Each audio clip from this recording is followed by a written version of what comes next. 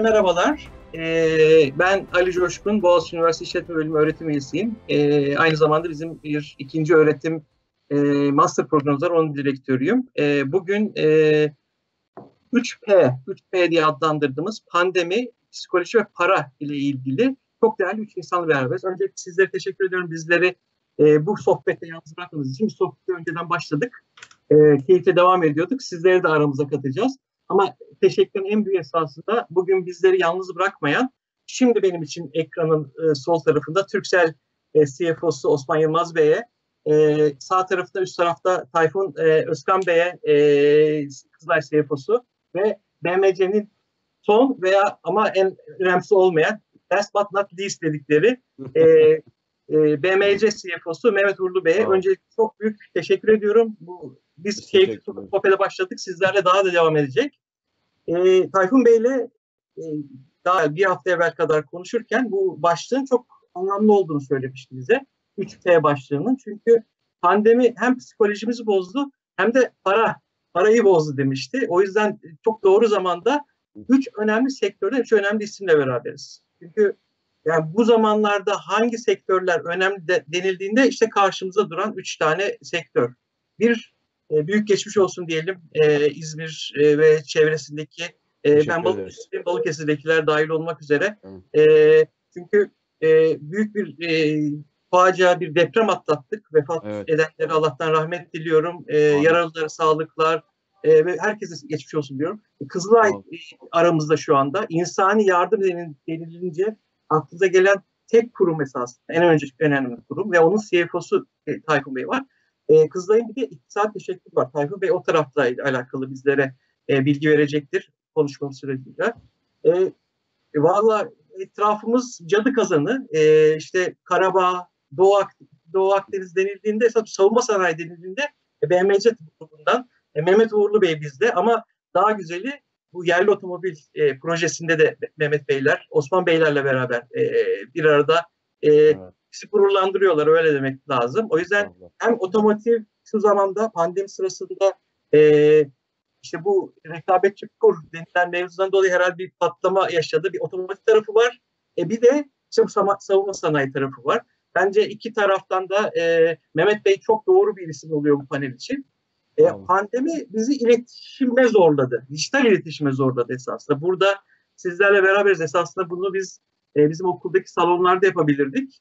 E, daha da hoş oluyor esasında yüz yüze olunca, canlı olunca. Bu arada hepinizi tekrardan okula bekliyorum en kısa zamanda. İnşallah. Ama iletişim dendiğinde Türkiye'deki lider marka Türksel ve Türksel'in CFO'su bizlerle beraber. O yüzden e, bence yani zamanın e, üç önemli ismiyle beraberiz bu e, şeyde ve bu panelde ve inşallah e, keyifli bir sohbette devam edeceğiz. E, tekrar hoş geldiniz. E, ben bir aklımdaki ilk soru şu. Ya bir pandemi, yani bir yani bir kaos yarattı, bir kriz yarattı esasında dünyada. Ee, öncelikle esasında üçünüze de o anlamda bir söz vermek istiyorum müsaadenizle. Bu pandemi dolayısıyla gerek Türkiye'de gerekse küresel anlamda, küresel ölçekteki ekonomide e, ne görüyorsunuz? Ne, e, neler oldu? Neler değişti? E, özelde ise şirketleriniz, sektörleriniz ve sizin ajandalarınız, gündemleriniz neler değişti? Peki böyle e, ucu açık bir soruyla topu e, Osman Bey size mi WhatsApp size başlasak sonra e, devam etsek böyle belki e, arada da sorularla e, araya girmelerle devam edebiliriz. Tabii tabii memnuniyetle. Ya tabii e, pan, pandeminin yarattığı ekonomik şok daha önce e, gözlemlediğimiz, tecrübe ettiğimiz bir şok değildi. Yani sonuçta e, baktığımız zaman 2000 yılı 2000'li yılların başından beri e, küresel piyasalarda farklı finansal şoklar, finansal krizler yaşandı. E, ama e, pandemi e, nevi itibariyle bunların hepsinden farklıydı. O yüzden de e, başlangıçtaki reaksiyonlar e, geçmiş krizlere kıyasla oldukça şiddetli oldu. Yani yaratılan etkiye kıyasla e, ekonomik tarafta yaratılan etkiye kıyasla finansal piyasalarda, algıda ve demin dediğiniz psikolojideki olan e, etki oldukça fazla oldu başta. Çünkü biliyorsunuz yani belirsizlik volatilitenin en büyük kaynağı. E, başlangıçtaki derin belirsizlik sadece ekonomiler için değil, e, şirketler için de bütün ekonomideki aktörler için de e, büyük bir belirsizlik endişe kaynağı oldu. O da finansal piyasalara volatilite olarak e, yansıdı. Tabii her ekonomi de kendi yapısına göre e, farklı şekilde yaklaştı bu krize. Farklı önlemler alarak yaklaştı. İşte Amerika, Avrupa e, bilindik şekilde e, yangına para atarak söndürmeye çalıştı. Aşırı de yüksek miktarda piyasaya likitte sağlayarak e, bir, bir miktar krizin etkilerini hafifletmeye çalıştılar. Ancak baktığınız zaman Avrupa bölgesi çift haneli Amerika e, ikinci çeyrekte çeyrekten çeyreğe yıllıklandırmış %30'un üzerindeki daralmayla e, ekonomi tarafındaki şeyi e, yangını çok da fazla söndüremediler. Para neye yaradı? Para finansal varlıkların yeniden değerlenmesine yaradı. Yani baktığımız zaman hani Amerika'da Avrupa'da işsizlik çok sert arttı, büyüme daraldı. Ama varlık fiyatlarına baktığınız zaman belli sektörleri çıkarın e, hisse senetleri tarihi zirvelerine geldi.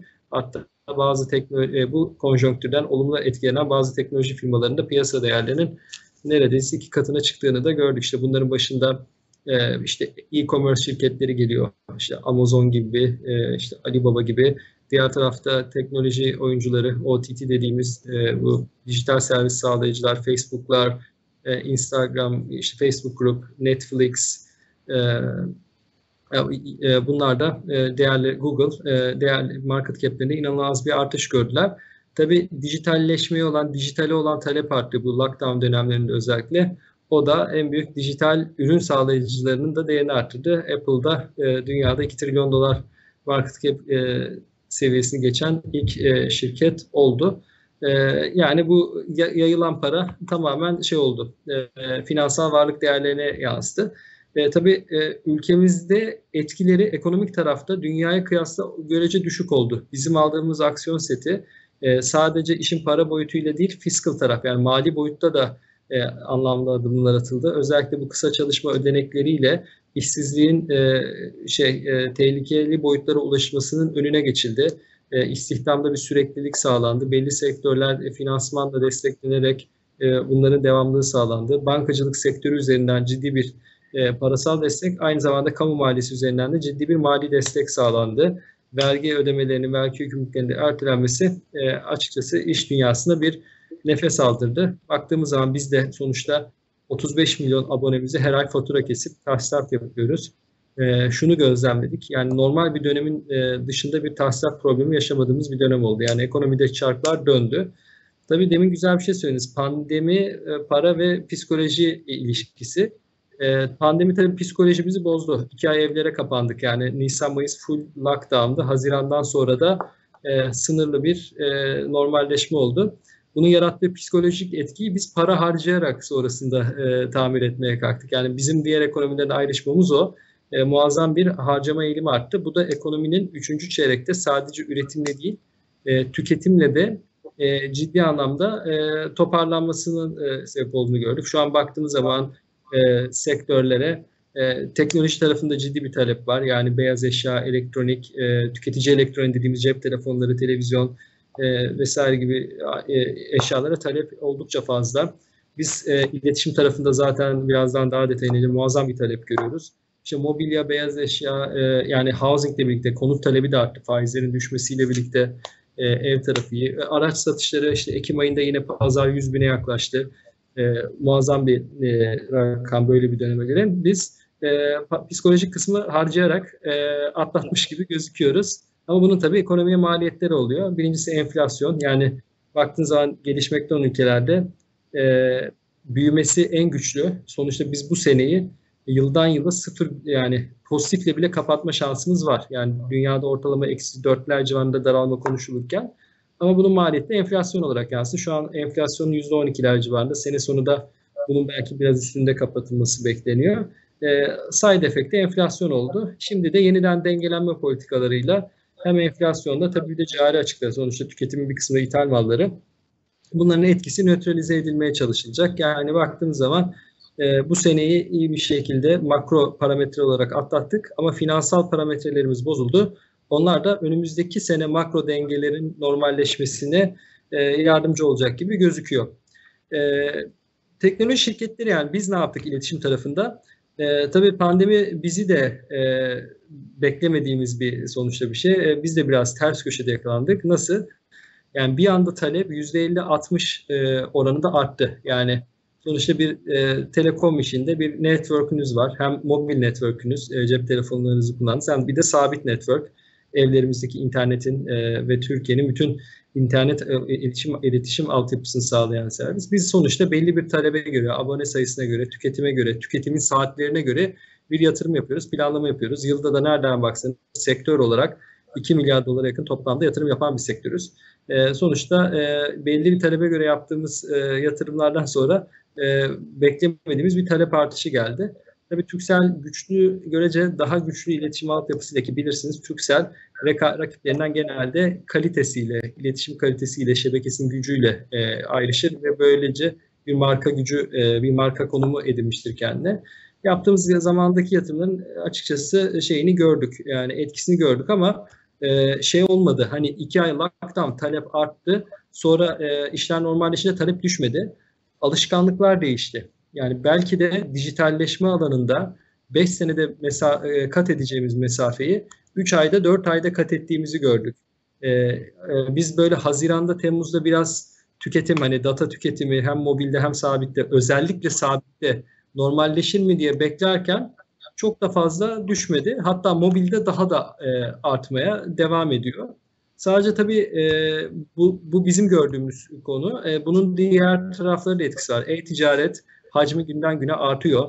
Dijital kanallardan alışverişin payı artıyor. Biz dijital satışlarımızı geçen yıla göre %50'nin üzerinde büyüttük. E, yani toplam satışlarımız içinde payı %8'lerdeyken dijital mecralardan satışlarının e, 12-13'lere kadar yükseldi. Artık insanlar geleneksel bayi kanalı yerine e, internetten, app'ler üzerinden e, Türksel ürün ve hizmetlerini almaya e, tercih ediyor.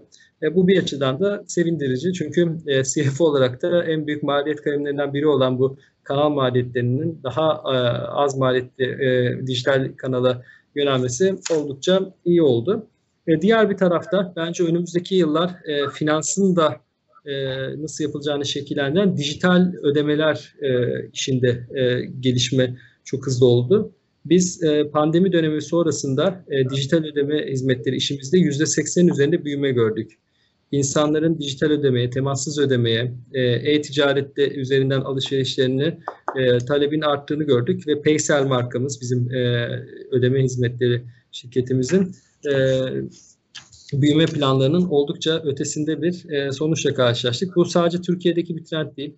Dünyada e, bu konuda bizden çok daha ileride olan ülkeler var. Çin bunun örneği. Zaten e, Ant Financial, bu Alibaba'nın e, ödeme hizmetleri kolunun e, IPO'su olacaktı bu hafta. Dünyanın en büyük IPO'su olması bekleniyordu. 35 milyar dolar raise edeceklerdi. Son anda iptal edildi. E, bu aslında hem işin ne boyuta geldiğini ve aynı zamanda da geleneksel finansa ne kadar büyük bir tehdit oluşturduğu ki IPO'sunun engellendiğini gösteriyor. Buna da belki ayrı bir chapter açmak ileride gerekebilir. Yani özetle biz sektör olarak buradan e, bu pandemiden olumlu etkilendik. Çünkü e, ülkede e, dijitalleşme talebi, e, dijitalleşme yolculuğu öne çekilmiş oldu. Biz de burada hem bireylere hem şirketlere bu dijitalleşme yolculuğunda en iyi ürün ve hizmetleri sunmaya çalışıyoruz. Sadece kendi ürünlerimize değil, başka ürünlerle de, başka hizmetlerle de müşterilerimizi e, buluşturuyoruz sistem entegrasyonu şirketlerimiz üzerinden. E, o açıdan e, görece az etkilendiğimizi söyleyebiliriz. Ama makroekonomik anlamda e, challenging yani zorlayıcı bir e, dönem bizi bekliyor. E, daha ihtiyatlı olmamız gereken, talebin belki biraz daha düşük olacağı, yatırımların daha maliyetli olacağı bir dönemde e, bizi bekliyor. Evet, çok teşekkürler. Çok bence çok e, güzel yani küreselden alıp e, sektör ve şirket bazında güzel geldi konuşma. Dün e, bir derste e, bir ilaç firmasının CFO'sunu e, Boğaziçi'li bir arkadaşımızı e, misafir ettim o bu bahsettiğiniz yıkıcılıktan o da bahset. Belki hani olumlu bir yıkıcılık diyelim bu da. Bu evet. e, dijitalleşme hani o kafa yapısının e, yıkılıp dijitalleşme insanların e, dönmesi e, değişik oldu ama bilmiyorum bu aynı yıkıcılık e, otomotiv sektöründe veya sanayi tabii esas sizin e, alanınız e, savunma sanayi olduğu o sektörde bu pandemi herhangi bir etki yarattı mı hem global ölçekte hem şirket ölçeğinde hem sektörde? Evet. Şimdi şöyle, e, aslında tabii bizim bulunduğumuz coğrafya sebebiyle e, bizde e, önceden çok e, projelenmiş ve imzalanmış bir takım sözleşmeler var. ve buna bağlı da yapmamız gereken üretimler vardı tabii. Fakat bu üretimler de maalesef e, biraz e, özellikle e, savunma sanayi araçlarının e, motor, e, şanzıman ve işte e, kısmen de bazı diğer bazı e, malzemelerinde dışa bağımlılığımız var. Tabii bu pandemi dönemindeki bu e, alınan önlemler çerçevesinde tedarik zincirlerinde biraz aksama oldu. Ama tabii bunu e, çok öngörmeden, pandemiyi tabii kimse öngörememişti.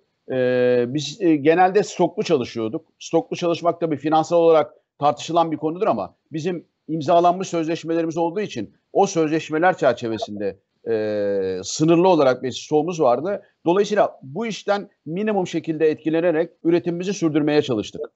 Tabii e, pandemi döneminde bir de bizim savunma sanayi ağırlıklı olmamız sebebiyle bize e, devlet özel izin verdi çalışmayla ilgili. Yani sokağa çıkma yasağı e, sınırlamaları bizi çok e, az etkiledi. Biz neredeyse e, resmi tatiller hariç her gün işe geldik. E, hemen hemen herkes e, zorunlu olanlar dışında ve e, tabii Osman'ın söylediği gibi bu dijitalleşme e, bizim işimize çok yaradı. Çünkü bizim e, şirketimizde özellikle seyahat çok önemli. Hem pazarlama hem tedarikçilerle görüşme. E, dolayısıyla görüşmeleri biz dijital ortamda yapmayı ve her gün her gün sabahları e, icra kurulu olarak biz tüm ilgili şirketlerimizin genel müdür ve yönetim e, yöneticileriyle e, dijital ortamda görüşmeler yaptık.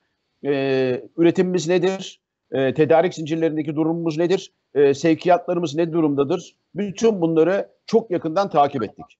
E, dolayısıyla o anlamda e, çok büyük bir e, üretimde aksamamız olmadı çok şükür. Ama tabii tedarik e, zincirlerindeki e, ileriye yönelik olan e, planlamalarımızda bazı sınırlamalarımız geldi geldi tabii çıktı ortaya ama onları da şu anda telafi etmeye çalışıyoruz. Talep tarafına gelince e, savunma sanayinden daha çok bulunduğumuz coğrafyadan kaynaklanan talepler var şu anda. Onu özellikle şu en son Azerbaycan olayıyla ilgili veya işte diğer bizim sınırlarımızda olanlarla ilgili kesinlikle bir talep artışımız var. Ama e, esas itibariyle ticari araçlarda, bu ticari araçlarda da otobüsü kastediyorum, belediye otobüslerini gelen sınırlamalar çerçevesinde otobüslerde taşıma taşı, e, taşınacak e, kişi sayısı sınırlanınca dolayısıyla otobüs adedinin e, artırılması e, ve bize olan talep arttı. Bu bize olumlu yönde etkiledi tabii. Dolayısıyla bizim de talebimiz bu yönde arttı ticari araçlar anlamında. Bu sadece Türkiye'de değil, Türkiye'deki belediyelerde değil, inanın yurt dışındaki belediyelerden de geldi. O, o anlamda bizim ihracatımız da arttı. Özellikle Azerbaycan'ın bu konuda çok büyük talebi var. Ee, Romanya'nın var. Bulgaristan'ın var. Bu gibi ülkelerde bizden otobüs e, talepleri e, oldu. Ek otobüs talepleri. Hatta Gürcistan'dan oldu. Çok ciddi otobüs taleplerimiz. Ve bu anlamda bizim e, hem faaliyetlerimizi e, hem de nakit akışımızı olumlu yönde etkiledi. E, tabii e, Osman zaten çok detaylara değindi. E, fakat bu pandemi döneminde psikoloji e, anlamında tabii ki bir takım e, sıkıntılar yaşadık ama biz hem e, personele devletin bize verdiği kısa çalışma fırsatını yararlandırdık ve bunda e, devletimizden gerçekten hani bunu bir e, övgü veya herhangi bir e, niyetle söylemiyorum. Kısa çalışma ödeneğinden yararlandık ve her şey zamanında bize e, geldi. Bu anlamda devletin biz çok büyük bir desteğini görüyoruz. Eminim başka şirketler de görüyordur. Sadece bize özgü bir şey olduğunu düşünmüyorum. Ama ben bu pandemi dönemini 3 e, bölüm olarak hep e, algılıyorum. Bir tanesi ilk çıktığında beraber tecrübe etme dönemi olarak e, yaşadık bunu. Yani bunu hiç kimse bilmiyordu. Bütün şirketlerle, e, bankalarla, finans kuruluşlarıyla, tedarikçilerle birlikte ne yapabiliriz? Nasıl bir tecrübe ediniriz buradan? E, o dönem olarak yaşadık. Ve buradan e, olumlu sonuçlar çıkartmaya çalıştık. E, ikinci dönem tabii işte pandeminin e, bir takım e, e, nasıl kontrol edilebileceği veya önlemlerin nasıl alınacağı konusunda bazı noktalar ortaya çıkmaya başlayınca onunla birlikte yaşamayı öğrendik. İkinci dönemimizde. E, tabii üçüncü dönemde şu anda zaten birlikte yaşıyoruz. E, bunu da tabii hem dünya ekonomisi hem ülkemizdeki e, gelişmeler e, hepsi belirleyecek. Halen yaşıyoruz. İşte e, fakat tabii bunun üstüne bizim tarafımızda fabrika İzmir'de olduğu için e, bu sizin de bahsettiğiniz gibi bir deprem konusu geldi e, gündeme maalesef. E, çok şükür e, fabrika olarak bir hasarımız yok.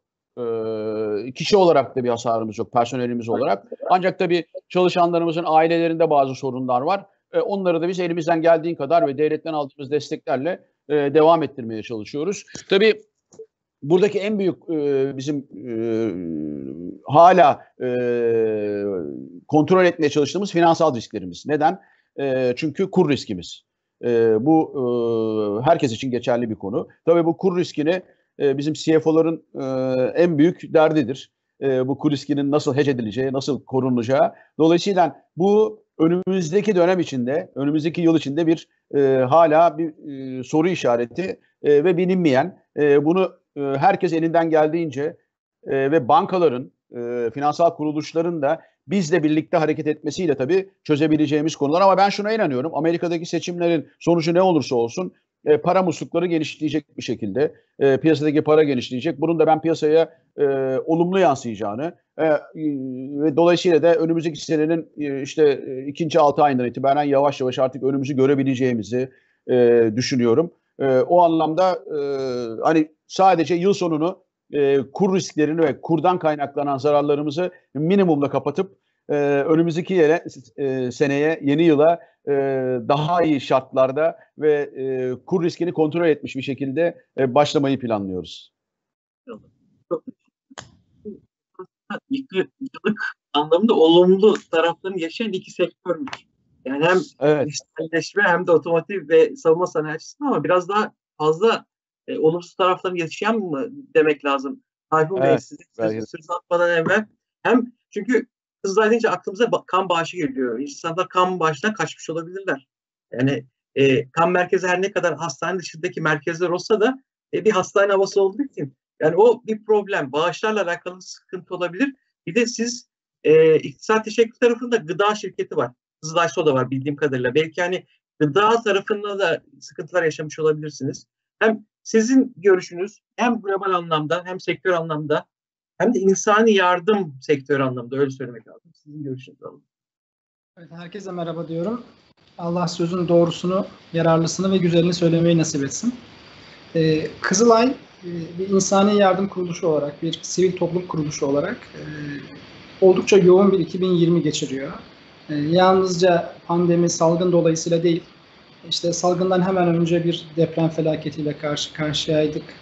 Ardından sel felaketi, işte Edirne tarafında insani e, dram yaşanan işte Suriyelilerin Edirne kapı, kapılarına yığılması, ardından tekrar bir deprem şimdi e, yani e, şeyleri saymıyorum bile. Yani ufak tefek aradaki e, sorunları saymıyorum bile. Dolayısıyla e, sadece Türkiye'de de değil, bütün dünyada bir e, felaket yılı oldu malumunuz 2020.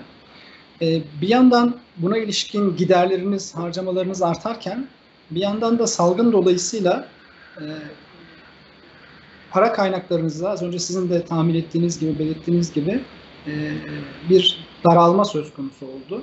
Zaten e, büyük danışmanlık kuruluşlarının sektörlerin etkilenme haritasında STK'lar en olumsuz etkilenecek, işte hava yollarından sonra en olumsuz etkilenecek sektörlerden biri olarak görünüyordu. Kızılay'ın bir şansı tabii Türk milleti. Ee, ne koşulda olursa olsun e, milletimiz bizim e, iyilikseverliği, e, hayra koşmayı elinden bırakmıyor. E, yine tahmin ettiğiniz gibi kan toplama konusunda salgın dolayısıyla başta bir sıkıntı yaşandı. Ama ondan sonra yetkililerimiz bir çağrı yapınca ve çeşitli kampanyalar yapılınca insanlar bölük bölük kan vermeye devam ettiler. E, dediğim gibi bu Türk milletinin azizliğidir, e, saygınlığıdır, e, yardımseverliğidir. E, bir diğer konu kan bağışının yanı sıra çok önemli bir atılım yaptı Kızılay. Plazma bağışını geliştirdi yine bir kan ürünü olarak. Dolayısıyla salgın bizi pek çok açıdan etkiledi. E, psikolojimize olumsuz etkiledi demiştim. Hakikaten çünkü bir yandan insana yardım etmek istiyorsunuz. Dışarıda sahada olmak istiyorsunuz. E, işte Ramazan döneminde mesela, işte kurban döneminde, yurt içinde, yurt dışında. Ama bir yandan da salgın var. E, şey yapamıyorsunuz, hani çok insan içine karışamıyorsunuz. Ama bizim Kızılaycılarımız e, hep sahada oldular. Gerekli tüm önlemleri alarak sahada oldular. E, bir Kızılaycımızı e, salgına şehit verdik. bir başka Kızılaycımızı yurt dışında e, kahve bir kurşuna şehit verdik. Bütün Kızılay'ın hizmet sunmasını aksatmadı çok şükür. E, psikoloji boyutu böyle. Para kısmında ise e, Kızılay'ın çalışma sistematiği, bütün belki STK'ların çalışma sistematiği özellikle bir afet olduğunda önce harcama yönünde. Yani önce harcamanızı yaparsınız. İşte Elazığ deprem oldu, İzmir'de deprem oldu. İşte para toplayayım da ondan sonra gideyim oraya yardım edeyim gibi bir dünya yok. Hemen yardımınızı yapmanız gerekiyor. Ondan sonra arkasından yardımlar gelirse geliyor. Ee, geldiği kadar geldi, gelmediği noktada e, açığınız olabiliyor o projeye özel. Ama Kızılay'da bugünler için var. O yüzden o harcamalarını yapmak zorunda. Ee, herhangi bir e, shortage, bir eksik kalma olduğunda da işte Kızılay bunu kendi gelir getirici faaliyetleriyle finanse etmek durumunda. Buradan da e, az önce bahsettiğiniz Kızılay'ın gelir getirici faaliyetlerine geleyim. Bir CFO'nun malum birinci görevi e, kurumun varlıklarını korumak, muhafaza etmek. Ondan sonra da bunları geliştirmek. Yani finansal sürdürülebilirliğini kurumun sağlamak. E, Kızılay'ın e, geçen sene 2019 başında geçen sene başında başlattığı çok önemli bir e, devrim niteliğinde bir e, atılım oldu. O da gelir getirici faaliyetler ile insani yardım faaliyetlerini birbirinden ayırmak. E, bu çok büyük bir e, karar, çok makro bir karar e, ve e, uygulanması da kolay olmayan bir karar. Ama bunu çok şükür başardık. Kızılay Yatırım diye ayrı bir anonim şirket, bir özel sektör şirketi kuruldu. Ve Kızılay Yatırım'ın altında gerek çadır işletmesi, gerek maden suyu işletmesi, gerekse işte sağlık işletmeleri, hastaneler toplandılar. Artı onlara ilave olarak da birkaç tane yeni işletme e, faaliyete geçiyor ve geçti. E, bunlar işte lojistik üzerine bir anonim şirket, yaşlı bakım üzerine bir anonim şirket yine ondan sonra e, kan ürünleri üretimi için bir başka şirket kurulacak. E, bir de bütün bunları yaparken yine finansal sürdürülebilirliğin önemli bir parçası olarak e, dış yatırımcıları kullanalım, dış kaynak kullanalım istedik. Yani insanları Kızılay'ın e, gelir getirici faaliyetlerine ortak edelim. E, ortaklıklar oluşturalım. Bu amaçla da bir portföy yönetim şirketi kurduk. E, kısıtlı bir portföy yönetim şirketi, gayrimenkul ve girişim sermayesine özel bir portföy yönetim şirketi kurduk. O da yakında e, yatırım fonlarıyla e, iyiliksever yatırımcılarımızın birazdan belki konu ilerleyince değiniriz. Benim Red Red Finance diye kodlamaya çalıştığımız yeşil finanstan sonra e, Red Finance diye bir kırmızı veya kızıl nasıl tercih ederseniz çevirebileceğimiz bir e, finans kavramıyla e, dünya insani yardım sektörünün önüne çıkmaya çalışıyoruz. Vedat hocamızın Good Finance'ini e, biraz daha böyle renk kodlarıyla kavramsallaştırmaya çalışıyoruz. Bir sonraki turda da o konuda bahsederim. Özetlemek gerekirse evet e, pandemi salgın e, STK sektörünü vurdu. E, Kızılay'ımız da bundan olumsuz etkilendi ama en az olumsuz etkilenen uluslararası STK'lardan birisiydi. Çünkü çok büyük bir yapı Kızılay. Hem kökleri derin, 152 yıllık hem de Türk milletinin himmetiyle çok geniş bir ağaç. Kökleri derin ve kendisi de geniş bir ağaç. Dolayısıyla etkilenme en az seviyede oldu, asgari seviyede oldu. Parasal açıdan da e, çok şükür elbette e, ciddi bir hit yedik, ciddi bir e, sıkıntı yaşandı. Ama bu da bertaraf ediliyor. E, dediğim gibi aynı büyüklük. E, parasal anlamda da devletimizin de e, çeşitli destekleriyle Kızılay inşallah nice 150 yıl daha bu arenada halkımıza ve tüm insanlığa hizmet etmeye devam ediyor olacak çok önemlisiniz. Yani hizmet etmeye devam edin ne olursunuz. Yani hani Kızılay'sız e, ya ben tabii biz ilkokul 7 sınıftaki o zarflardan beri yani e, yani bu Kızılay'la beraberiz yani. O yüzden hani Kızılay'sız da olmayalım. Devam etmek lazım. E, zaten biraz sonra bir soru olarak düşünüyordum ama e, o zaman Tayfun Bey sizle devam edeyim. Sonra e, devam ederiz e, diğer panelistlerimizle. E, peki önümüzdeki günlerde kurulacak olan şirketlerden bahsettiniz. Bir portföy yönetim şirketinden bahsettiniz. Peki siz öncelikle belki kişisel olarak özelinizde CFO olarak gündeminizde ekstra ne eklenmiş oldu?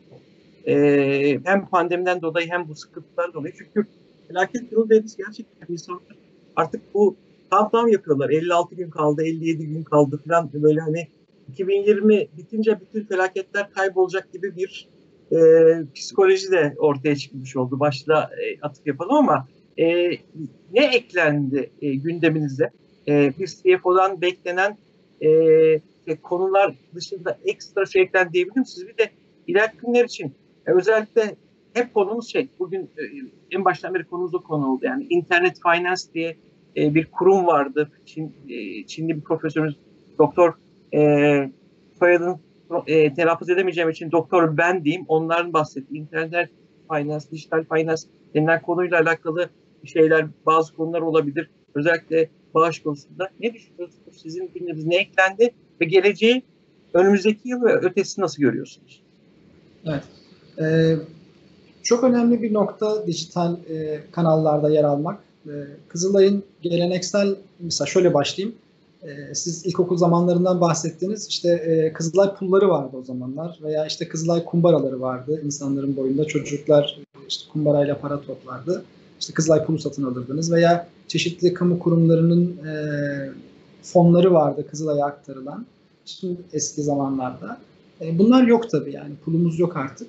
Dolayısıyla yeni bir takım e, yöntemlere bakmamız lazım. E, o yüzden dijital kanallarda e, şey almaya çalışıyor, yer almaya çalışıyoruz Kızılay olarak da. Bu konuda e, Boğaziçi Üniversitesi ile de yürütülen bir proje var malumunuz. E, Distributed Ledger Technologies, DLT teknolojileri konusunda beraber neler yapabiliriz'i e, konuşuyoruz. E, çünkü artık e, paranın dahi yani fiziki paranın dahi ortadan kalktığı dönemlerde sizin hala işte e, insanlara pul satma şansınız yok veya nakdi yardım toplama şansınız yok. Bu birinci boyutu. Bir diğer boyutu e, bizi bağışlardan kurtaracak yola gitmemiz lazım. E, bağışlardan kurtarmanın yolu yani temel operasyonel giderlerinizi bağımsız bir şekilde karşılamak için e, bir akar sisteminiz var, gayrimenkulleriniz var, az önce bahsettiğimiz gelir getirici şirketleriniz var. Bir kere bunlardaki iyileştirme çalışmalarını hızlandırmamız gerekti. O konuda ciddi bir çabamız oldu ekstra. Çünkü gayrimenkul tarafı biliyorsunuz işte insanlar e, işte alışveriş merkezleri kapandı, bazen dükkanlar kapandı, lokantalar, mağazalar. E, bizim de bu tarz kira getirici gayrimenkullerimiz vardı. E, oralardan e, kira gelirlerimize ciddi bir azalma oldu. Hatta yani şu kadar söyleyebilirim, yüzde 50 oranında azaldı kiralarını e, ödeyemeyenler. Biz de devletimizin e, öngördüğü, açıkladığı 3 aylık e, faizsiz öteleme sistemi, şey, sistemini uyguladık. Bu imkan tüm e, kiracılarımıza verdik, ihtiyaç duyan tüm kiracılarımıza verdik. Ama bu ciddi bir gelir azalmasına yol açtı. E, dolayısıyla bizim aslında Dünya Bankası'nın da öngördüğü küresel finans trendlerinden biri olan iyi finans konusunda veya insani yardım finansmanında özel sektörü de işin içine katacak yeni yöntemler bulmaya itti. E, bu yaz e, Financial Times'da e, başkanımızın imzasıyla bir yazı çıktı. E, Red Finance üzerine bir e, açık mektup yazdı başkanımız. Ve dedi ki nasıl e, çevreci finansman konusunda e, yeşil finans gibi bir kavram varsa, green finance konsepti kavramı varsa benzeri şekilde insani yardım projelerini finanse etmek için de özel sektörden destek almak lazım. E, o anlamda da red finance, red, red kelimesinin yani red kırmızı rengin gelmesinin sebebi de e, işte kırm, kızıl haç, kızıl aylar hareketi bir hareket olarak işte Birinci Dünya Savaşı'ndan sonra çıkıyor.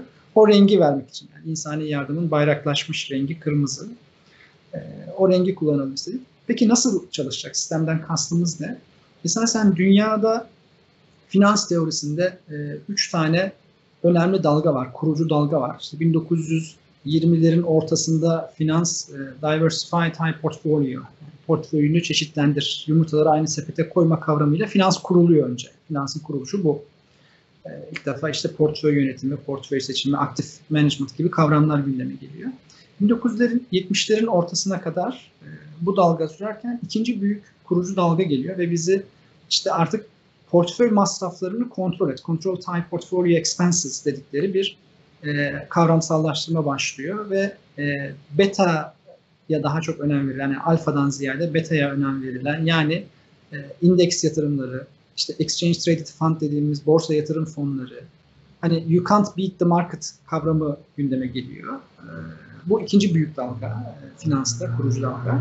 Şimdi neredeyse 1990'ların başında başlayan üçüncü büyük dalgadan bahsediyor ve bu bizi çok doğrudan ilgilendiriyor Kızılay olarak veya STK'lar olarak. Bu dalgada make type portfolio impactful. Yani portföyünü, yatırımını etkili kıl. Yarın öbür gün işte bununla beraber gelen kavramlar social responsible investing, sosyal sorumlu yatırım, ESG yatırımları, hani çevreci, sosyal sorumlu, yönetişim ülkelerine uygun yatırımlar, etki yatırımları, impact fund gibi kavramlar gündeme geliyor. Çünkü artık e, özellikle milenyum çocukları bunlar biraz da parayı e, inherit etmiş böyle e, şey almış, miras almış olan insanlar oldukları için onlardaki kavram şu, e, tamam benim param para kazansın bir yandan ama bir işe de yarasın. Yani başka ne yapıyor? Dünyaya iyi, güzel ne katkı sunuyor benim param? Bunu görmek istiyorlar ve e, geçen seneki e, pardon bu seneki şeyde e, sermaye piyasaları kongresinin açılışında e, bir profesör beyefendinin İstanbul Finans Merkezi'nin e, yöneticisi e, hocamızın da söylediği gibi bu bir yan finans dalgası veya bir finansal moda değil. Bu bir mainstream financial trend. Bir ana akım bir finans şeyi. Yani öbür gün etkisi olmayan, yani bir etki yaratmayan, pozitif bir etki, toplumsal, çevreci pozitif bir etki yaratmayan finansman bulamayacaksınız projeleriniz için, yatırımlarınız için. İşte biz bu dalgayı bilmek istiyoruz. Bu dalga esasen bizim katılım finans dediğimiz, Islamic Finance yabancıların dediği, e, katılım finans ilkeleriyle son derece örtüşüyor. O yüzden biz bu ikisini, keza bu ikisini bir araya getiren, e, getirmeye çalışan çabalar da var ve ilginç bir şekilde bu çabaları e, Dünya Bank, UN Birleşmiş Milletler'in yaptığını görüyoruz. Yani dolayısıyla bunun bayraktarlığını yapmak, bu dalgaya bine, binerek surf etmek durumundayız. İşte o yüzden biz de Red Finance kavramını günde ortaya attık.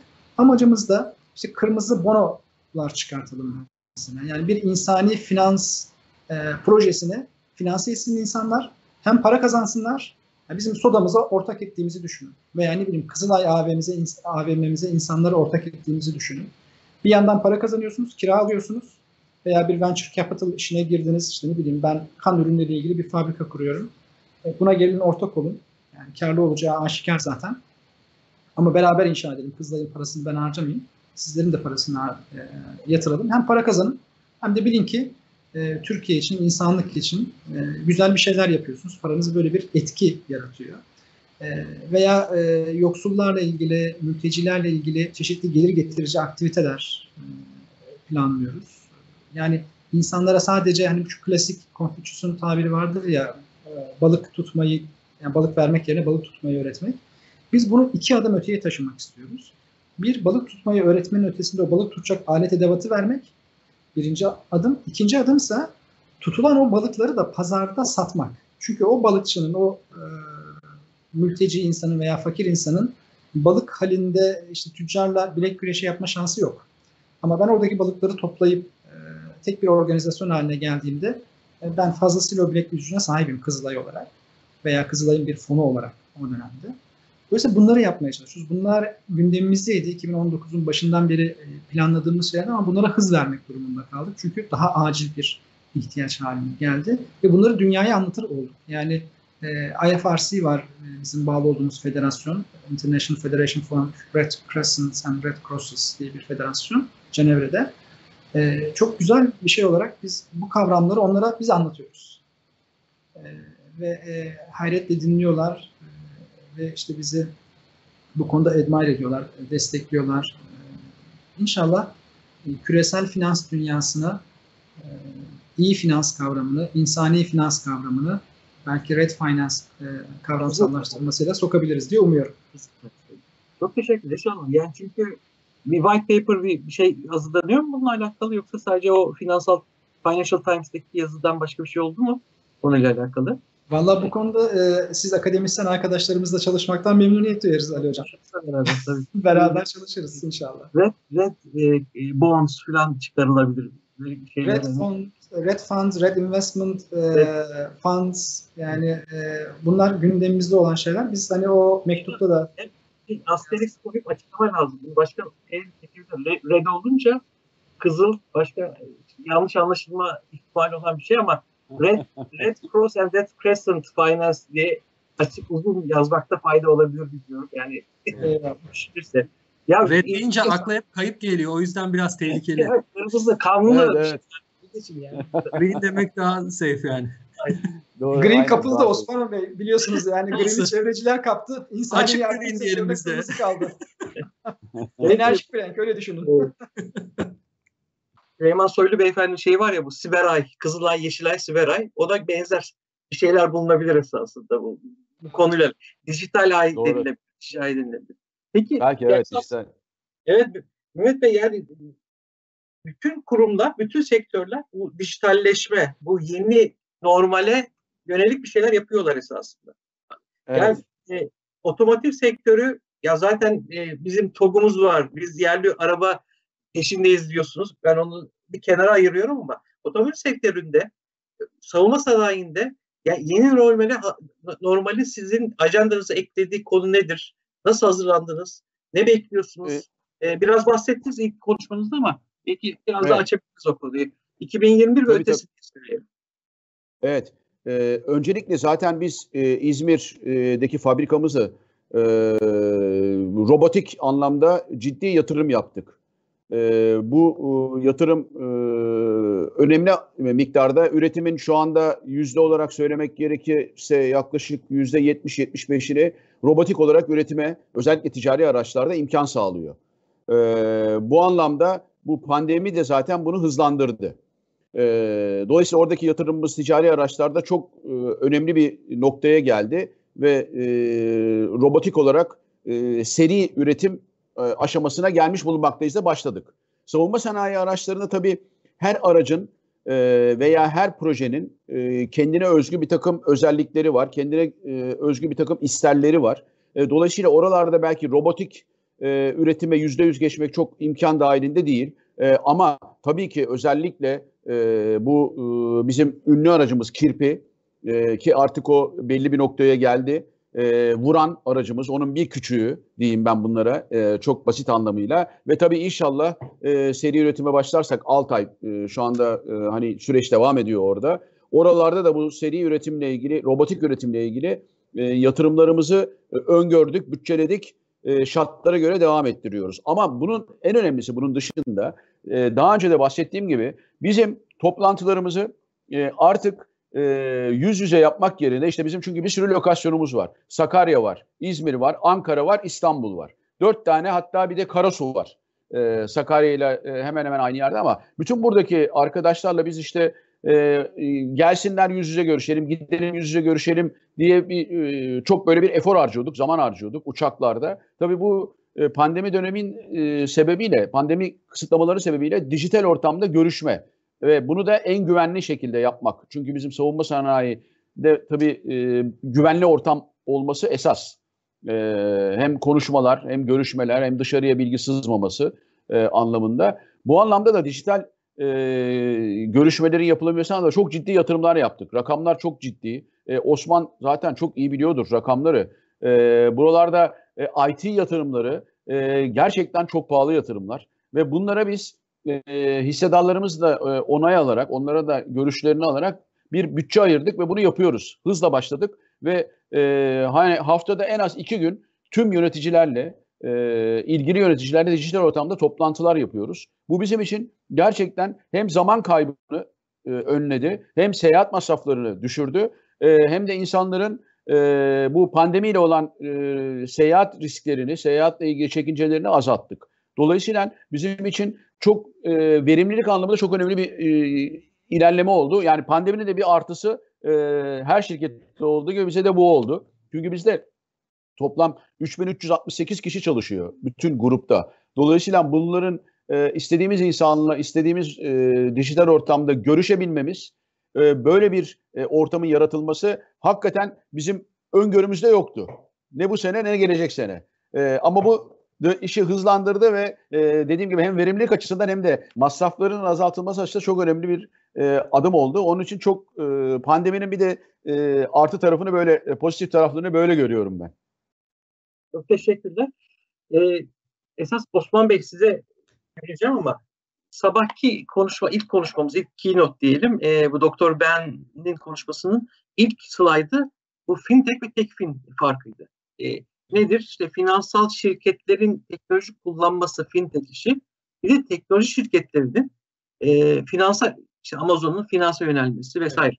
Esasında yani ben o tekfinden daha öte yani mesela Starbucks'ta esasında çok büyük bir e, banka esasında o kartlarla ön, ön ödemeli kartlarla Starbucks'ta her ne kadar bir teknoloji firması olarak düşünmese bile büyük bir finans e, kurumu haline geldi. Peki sizin kişisel olarak CFO olarak gündeminize artı olarak bu soruyu da eklemek istiyorum. Mesela Türksel e, kendini artık bir dijital firma olarak konumlandırıyor. Dünyada önemli bir dijital firma olarak kullandırıyor. Türkiye'de zaten lider olduğu belli. Mesela hani Tekfin'den ilham olarak bir Dijifin mevzusu, Paysel'den bahsettiniz. Bunun ötesinde e, yönelik, ötesine yönelik 2021 ve ötesinde ne düşünüyorsunuz? Ve gündeminize ne eklenmiş olacak bu yeni normalde? Aslında Tekfin Türksel'in 5 yıldır ajandasında olan bir kavram. Yani ilk defa da e, hani Türkiye'de Tekfin olarak e, kullanan da biz olduk. Yani hat, e, iş kolumuzda da fintech değil Tekfin olarak zaten e, içeride de segmentasyonunu o şekilde yapıyoruz. Bizim e, Tekfin alanındaki ilk e, e, girişimimiz Türksel Finansman AŞ'ydi. Tüketici finansmanı işine girdik ve bugüne kadar 10 milyondan fazla tüketici kredisi verdik o şirket üzerinden. E, ki şu regülatif kısıtlamalara ve kur artışına kadar e, Türkiye'nin e, adet ve hacim bazında en büyük tüketici finansman şirketiydik ki hala adet bazında verilen kredi adedi bazında en büyüğüz. E, orada e, hangi yetkinliğimizi kullandık? Kredi skorlama yetkinliğimizi. Şu an baktığınız zaman Türkiye'de en büyük bankanın e, müşteri sayısı 10 milyonu bulmuyor. Yani tek bir bankanın Türkiye'de 10 milyon müşterisi yok. Ama bizim 20 milyon tane kredi skorlu müşterimiz var. Yani e, ve buna ilaveten e, tüketici finansman şirketimiz BDDK'ya tabi olan şirketimizin e, KKB verilerine erişimini de hesaba kattığımızda Türkiye'deki aslında en robust yani en güvenilir kredi skorlamasını yapıyoruz. Çünkü biz kredi skorlamasında e, binin üzerinde bir veri setinden e, kredi skorlamasını en etkin şekilde hesaplayacağına inandığımız e, 7-8 tane ana faktörü bulup bunu KKB verisiyle zenginleştirip bir kredi skoru oluşturuyoruz. O yüzden de e, batık oranlarımızda, NPL oranlarımızda sektörün oldukça altında. Ama e, daha da büyümek için bu alanda bir e, Ant Finance'in hani bugün baktığın zaman Ant Finance, e, Alipay ve WeChat Pay. Çin'de iki firma ödemelerin %90'dan fazlası bu iki firmanın üzerinden geçiyor. Ve bunların e, değer teklifi kredi verme. Yani bugün al, yarın öde. Buy today, pay later en büyük değer teklifi. Biz bu mikro ölçeğe ineceksek ne 20 milyon adet e, kredi skoru bize yeter dedik ne de e, mevcut kredi yetkinliklerimiz. O yüzden biz e, Paysel'i e, 3 sene önce lisanslı, 2017 lisanslı bir ödeme şirketi olarak kurduk. E-para lisansını aldık ve e, son bir yıldır da kredi verme yetkinliklerini e, üzerinde çalışıyoruz. Yeni e, mevzuatla birlikte ödeme sistemlerine ilişkin mevzuat değişimiyle birlikte de kredi verebilir hale de e, gelecek bu şirket. E, ve burada sadece ödemeye aracılık eden, temassız ödeme yapan, kör ödeme yapan, işte kredi kartı saklayan bir cüz ya da içine para yüklediğiniz bir cüzdan değil, nakdiniz olmadığı anda sadece telefonunuzda Türkiye'de herhangi bir post cihazı olan e, ya da post cihazı da olmasına gerekiyor bir QR sticker olan herhangi bir yerde alışveriş yapılmasını sağlama vizyonuyla yola çıktık. E, bu alanda e, yani Türkiye tabii çok tek savvy dedikleri yani teknolojiyi çok iyi tüketen bir toplumumuz var. Burada genç nüfusa sahip olmamızın da bence önemi çok fazla. Baktığınız zaman Facebook grup, e, işte Google grup, e, Netflix bunların e, nüfusa hani dünyada nüfusta ilk onda değiliz ama bu ürünlerin, bu hizmetlerin kullanılmasında aktif kullanıcı sayısında ilk beşteyiz birçoğunda. E, bu da aslında teknolojiye olan yatkınlığımızı gösteriyor. Nedense ama ödemeler alanında bu e, şeyi biraz kaçırdık. Biraz geç e, başladık burada. Ama çok hızlı catch-up edeceğimizi düşünüyoruz. Pandemi de burada lehimize çalıştı. Bu şeyi hızlandırdı. E, temassız ödemelerin, dijital ödemelerin e, oldukça hızlandığını görüyoruz. E, bu yeni mevzuat değişiklikleriyle e, bir de, e, de e, üzerinde çalışılan devam eden bir yeni mevzuatlar var. Türkiye'nin ortak kare kodunu, tek kare kodunu çıkarılmasıyla birlikte burada yeni bir çağ başlayacak. Bu geleneksel bankacılık içinde ciddi bir e, tehdit aslında. Yani tehdit e, fırsata çeviremeyenler için tehdit ama kendini bu şekilde e, çeviren bankalar için de bir fırsat. Avrupa'da bunu görüyoruz. Avrupa'da yani ben e, şimdi görüyorum HSBC ki çok en geleneksel bankalardan biridir. E, inanılmaz şekilde dijitale yatırım yapıyorlar. E, PSD2 ödeme sistemleri direktifi 2'nin Avrupa'da geçen sene yürürlüğe girmesiyle birlikte değişen landscape'ten e, faydalanmak için tüm imkanlarını seferber ediyorlar. E, JP Morgan gibi yatırım bankacılığı kökenli yani ana DNA'sı yatırım bankacılığı olan ve perakende tarafta olmayan bankalar bile ödeme sistemleri tarafındaki şirketlere satın alarak ya da onlara yatırım yaparak, ortaklık yaparak bu alanda söz sahibi olmaya çalışıyorlar. Yani finansın geleceği e, burada. E, biz de teknoloji şirketi olarak buraya çok fazla önem atfediyoruz. E, ve e, işte abone bazımızı, kredi skorlu müşteri bazımızı, teknolojiyi e, üretme e, tarafındaki yetkinliklerimizi de burada olabildiğince kullanacağız.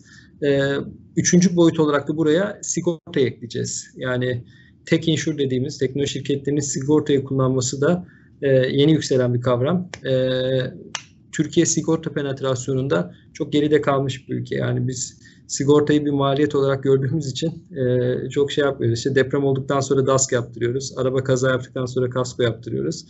E, biraz daha insanları sigorta almaya teşvik edebilecek kurgular üzerinde çalışıyoruz. İşte hastaneye sık giden birini lokasyonundan tespit ederek ona tamamlayıcı sağlık sigortası satmak, havaalanına aracınız yaklaştığında tespit edip lokasyondan size seyahat sigortası öneren bir sistem kurma gibi teknolojiyle sigortayı birleştirecek alanda da ürünler için e, sigorta şirketleriyle çalışıyoruz. Yani bu kredilendirme, ödeme ve sigorta bacağı e, bizim e, tek alanında 3 e, saca, ana sacayağımız olacak ve burada da e, önce Türkiye'de sonra da bölgede de e, liderlik edecek uygulamaları geliştirmeyi hedefliyoruz. Çok teşekkürler. Zaten e, geleneksel bankacılık için tehdit tabii geleneksel tüm sektörler için tehdit bu yeni normal büyük ihtimalle. Yani e, buna ayak uyduramayan insanlar, sektörler ve insanlar, insanlar insan bazında söylemek lazım. Herhalde o yıkıcılığı en fazla isteyecek insan e, isteyecekler olacaktır. E, çok teşekkürler. Biz e, son 5 dakikamız e, birkaç soru var mı diye baktım. E, sevdiğim bir öğrencim, başarılı bir öğrencim. Berkay Mutlu inşallah isim benzer değildir. Finans kariyeri düşünen e, bir öğrenci Berkay. E, o güzel bir soru sormuş. Biraz da provokatif bir soru. Ben bunu müsaadenizle Osman Bey ve Mehmet Bey sizlere yönelteceğim. Çünkü Osman Tabii. Bey bankacılık sektörünün destekler e, bizi rahatlattı demesinden başlamış. E, Mehmet Bey sizde yani destekler, e, teşvikler ve benzer mekanizmalarla esas da sektörlerin yüzdürüldüğünü e, rahatlatıldığından siz de bahsetmiş. O yüzden ikinize yönlendiriyorum. İşte diyor ki e, Berkay, banka sektörü bu desteği verirken ne gibi sonuçlar karşılaştı? Gelecekte NPL'lerindeki artış e, öngörülebilir mi? Bunu e, bankacı sektörü bu konuda bir darbe yer mi? Aynı şekilde e, ötelenen mesela vergi ötelemeleri, ertelemeleri e, biz çünkü hep şey diyoruz. Türkiye çok dinamik bir ülke. E, yüzdürme bazen yüzdürme gerçekten de bizim işte o e, kötü o krizin, kaosun, pandeminin kötü etkisi atlatmamız için gerekli oluyor. Nefes aralığı bize gerekli oluyor ama ötesinde e, bankacılık sektöründeki bu finansmanla alakalı durumda olduğu gibi bir, bir sorun bekliyor musunuz? İkinize yönlendirmiş olayım. Mehmet Bey ve Osman Bey. Mehmet Bey ister siz de başlayalım. Olur tabii. Ee, ben şöyle, e, ben hani beklemiyorum. Bunun iki tane temel sebebi var e, benim açımdan. Bir tanesi Türkiye borçlarını ödemede hiçbir sorunla karşılaşmadı şu ana kadar. E, borçlarının geri ödenmesi de. Bir de ikinci en önemli göstergede bu CDS dediğimiz kredi riskimizin şu andaki değeri, seviyesi e, 2018 seviyelerinde, 2018 yılı seviyelerinde. Dolayısıyla bu iki gösterge benim açımdan e, bankacılıkta zaten e, hem e, bir de sermaye yapıları, öz sermaye yapıları, BDDK'nın ve bankacılık kanunundaki değişikliklerle çok e, sağlam e, yerlere oturtulması e, nedeniyle bir risk olacağını ben şahsen düşünmüyorum. Ama bir de dediğim gibi Amerika'daki seçimlerin sonucu ne olursa olsun para muslukları açılacak dünyada. Dolayısıyla bu para e, dünyada para bollaşacak. Burada e, bol paradan da Türkiye mutlaka bir şekilde e, payını alacaktır diye düşünüyorum. Osman Bey siz ne dersiniz?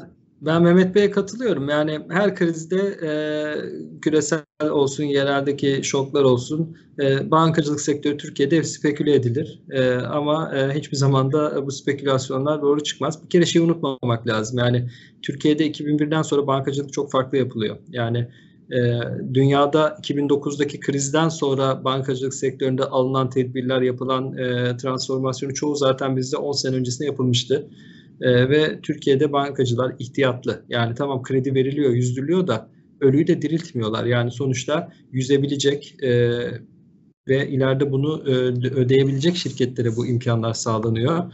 E, hiçbir bankada zaten iflas etmiş, e, nakit yaratma gücü olmayan, elindeki kolaterali e, sıfırlanmış şirkete de bu imkanları zaten sağlamıyorlar.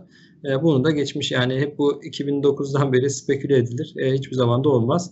Bankacılık her krizden de büyüyerek e, çıkar. Tabii bunun maliyeti ne oluyor? E, kredi büyümesi maliyeti düşük sermaye karlılığı olabiliyor.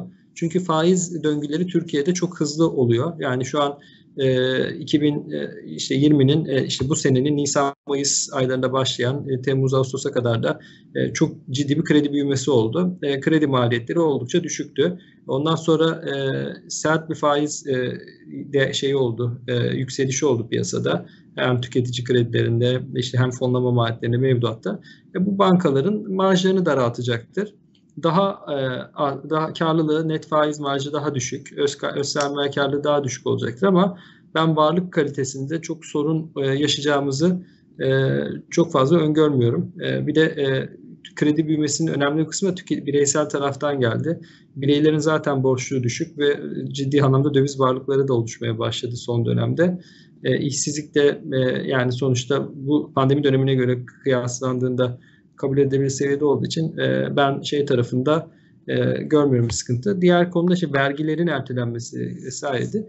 E, bu çok normal. Yani Türkiye 2001 krizine e, neredeyse %100'e yakın e, kam, e, public debt to GDP ile girdi. Yani e, borç e, kamudaydı şeye kadar 2001-2002'ye kadar. Ondan sonra kamu e, mali disiplinle borçlarını azalttı. Borçlar yatırım yapan büyüyen özel sektörün üzerine geçti.